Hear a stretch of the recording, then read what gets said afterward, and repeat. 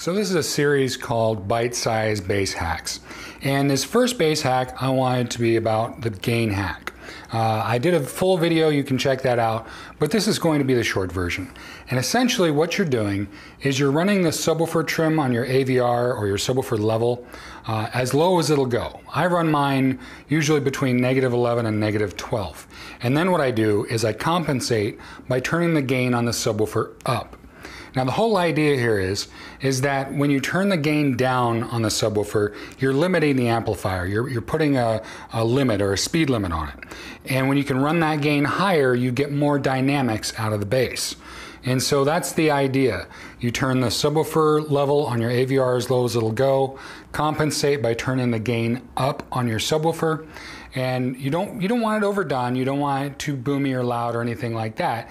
You want to get it there, and you can check out my video on adjusting subwoofers by ear uh, to get a better idea of how to dial it in just right. Uh, but essentially, that's the whole idea behind the gain hack: is you just turn the gain up pretty much as high as you can get it on the subwoofer and as low as you can get it on the AVR and still have it all sound good. And what that's going to do is give you stronger dynamics, uh, more powerful, impactful bass, and you just get more out of it that way. Uh, in you know you can go the opposite direction. You can check out the video on uh, apartment tips, and with that I talk about going the other direction, turning the gain down on the subwoofer and turning the, the subwoofer level up on the AVR. And what that does is that reduces the bleed over into the neighboring apartments and things like that. So that's going the other direction. But most people want to get more out of their subwoofers, and that's the one thing you can do. Now, the one drawback is that uh, you may have an issue with your amplifier triggering your subs to turn them on, the auto on feature. You might need to get to a, a deep bass scene to get them to come on. Uh, I don't have much of a problem with that with the subs I deal with, but it's an issue, so that's one thing to be aware of. Uh, otherwise, uh, the gain hack works really well. It's one of those things you can do that's free.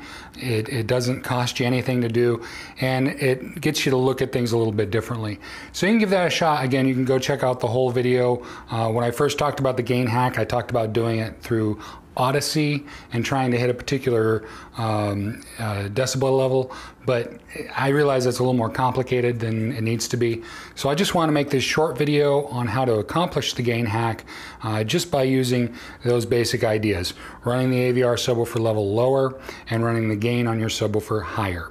Uh, so that's the idea. Uh, follow along with the rest of the series. Uh, I'm going to do a lot of videos that are just like this, short and to the point.